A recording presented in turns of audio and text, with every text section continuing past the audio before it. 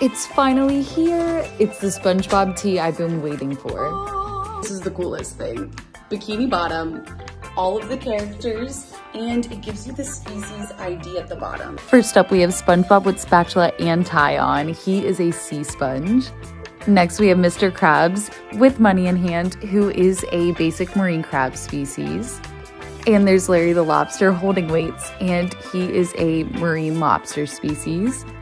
Next up is Sandy the squirrel with her helmet, and she is a land dwelling squirrel.